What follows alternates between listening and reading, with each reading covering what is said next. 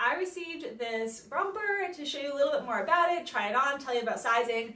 So this is super comfortable. First off, I'm really enjoying it. It's really, really soft, very, very comfortable. Um, it has spaghetti straps here and they are adjustable in the back so you can make it a little more customized to fit you as you need to. There's two pockets right here on the side and then the bottom is just a cut like rough hem here. It is like hemmed up but it does have that like very natural free flowing kind of feel to it.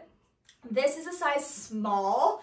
Now I'm 5'5 and about 110 pounds or so. I usually wear a size small. So I'd say this fits perfectly um, so if you're around my same dimensions, this is the size I think that you should be getting as well as the size small.